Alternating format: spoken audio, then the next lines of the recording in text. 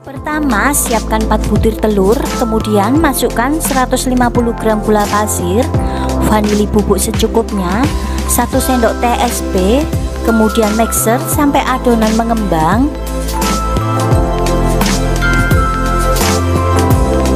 Mixer adonan sampai mengembang, putih kental dan berjejak. Setelah adonan mengembang, putih kental dan berjejak, matikan mixernya. Kemudian masukkan 3 buah pisang yang sudah dihaluskan. Ini pisangnya saya haluskan menggunakan garpu, jadi haluskan kasar saja.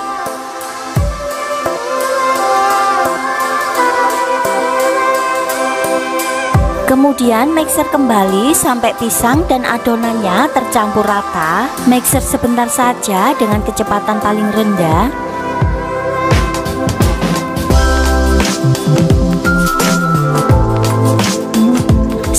Adonan tercampur rata, matikan mixernya. Kemudian masukkan 200 gram tepung terigu 3 sendok makan susu bubuk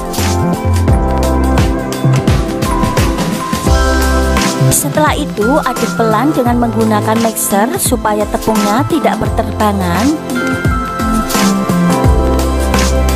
Kemudian mixer kembali dengan kecepatan paling rendah sampai tercampur.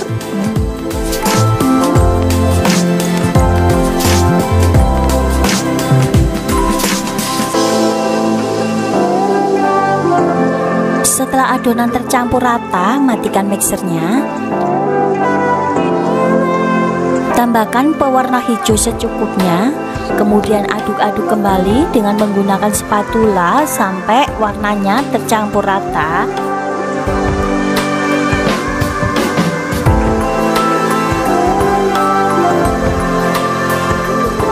Setelah itu, tambahkan 100 gram margarin yang sudah dilelehkan. Aduk-aduk lagi sampai semuanya tercampur.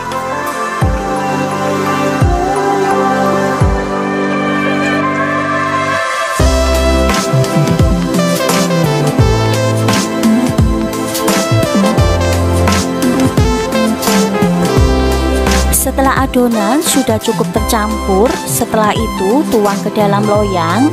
Siapkan loyang, kemudian tuang adonan. Untuk loyangnya ini sebelumnya sudah diolesi dengan margarin dan dialasi dengan kertas roti supaya tidak lengket. Untuk loyangnya saya menggunakan ukuran 20 cm x 20 cm. Setelah adonan dituang ke dalam loyang, kemudian ratakan. Setelah itu, hentak-hentakan supaya udara yang terperangkap di dalam adonan bisa keluar. Setelah itu, taburi dengan jagung manis secukupnya. Setelah selesai ditaburi dengan jagung manis, untuk selanjutnya akan saya panggang. Sebelumnya, ovennya sudah saya panaskan selama 10 menit Kemudian panggang kuenya selama 40 menit atau sampai matang.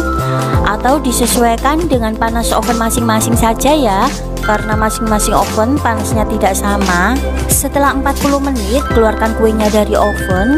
Dan ini saya tes dengan tusuk sate bersih. Jika tidak lengket tandanya sudah matang.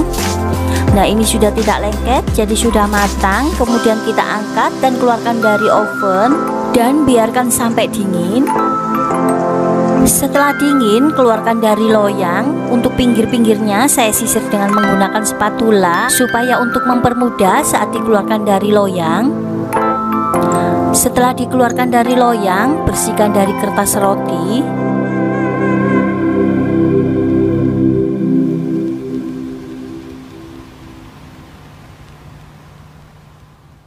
Kemudian potong-potong kuenya. Ini saya bagi menjadi tiga bagian dulu. Nah ini hasilnya setelah dipotong teksturnya halus sekali. Setelah selesai dipotong menjadi tiga bagian selanjutnya saya potong lagi menjadi 12 potong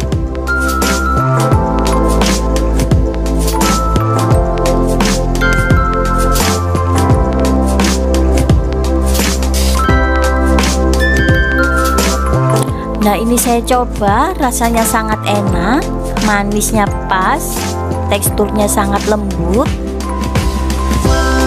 Setelah selesai dipotong semua Selanjutnya akan saya kemas.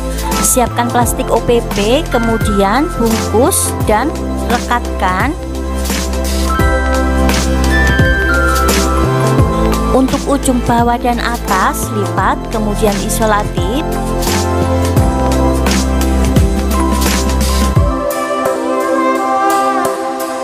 resep lengkapnya kalian bisa lihat di kolom deskripsi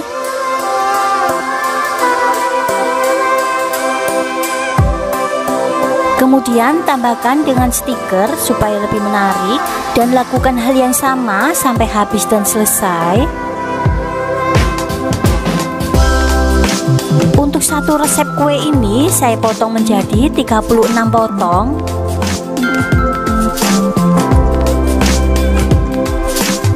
Nah ini dia hasilnya. Kue bolu pisang jagung manisnya sudah selesai dan siap disajikan. Selain rasanya enak, cara bikinnya sangat mudah dan bahan-bahannya sangat ekonomis sekali Pertama, siapkan 100 gram tepung tapioka, 200 gram tepung beras, 150 gram gula pasir, seperempat sendok teh garam, vanili bubuk secukupnya. Setelah itu, aduk-aduk bahan keringnya sampai tercampur rata. Setelah bahan keringnya sudah tercampur rata, tambahkan 650 ml santan. Setelah itu, aduk adonan sampai tercampur rata.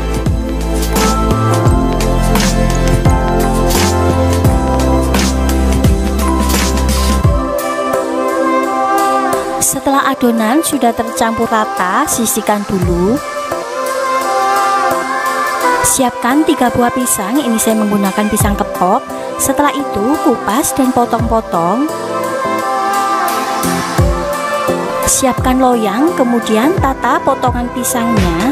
Untuk loyangnya ini sebelumnya sudah saya alasi dengan kertas roti, kemudian saya olesi dengan minyak supaya tidak lengket. Untuk pisangnya, kalian bisa menggunakan jenis pisang apa saja, disesuaikan dengan selera.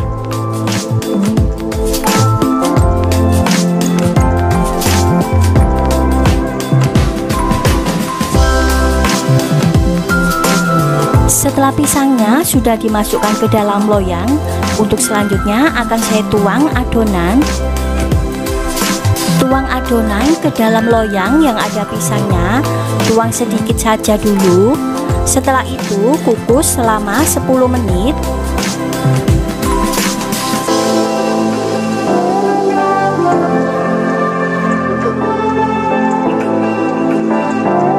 Setelah 10 menit buka tutupnya Kemudian tuang adonan kembali Kemudian kukus lagi selama 5 menit. Setelah 5 menit buka tutupnya kemudian masukkan sisa potongan pisang tadi.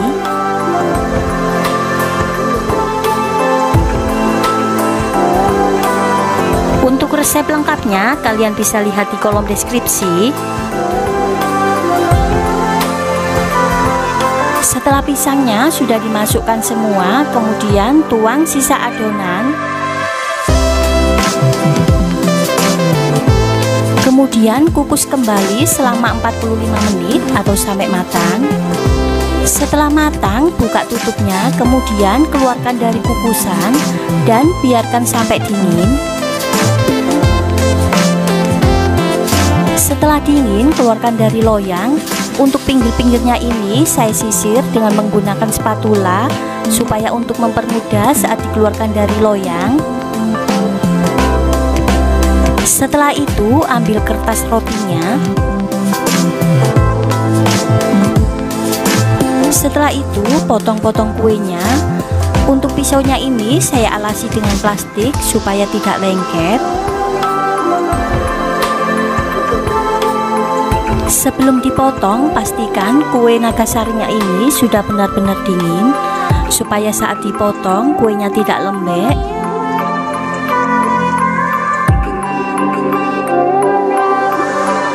Setelah dipotong semua, selanjutnya akan saya kemas. Supaya tampilannya lebih menarik, saya tambahkan potongan daun pisang.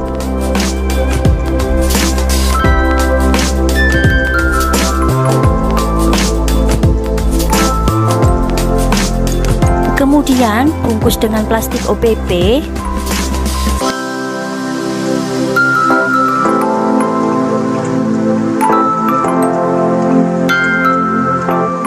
ujung atas dan bawah, lipat kemudian isolatif dan lakukan hal yang sama sampai habis dan selesai.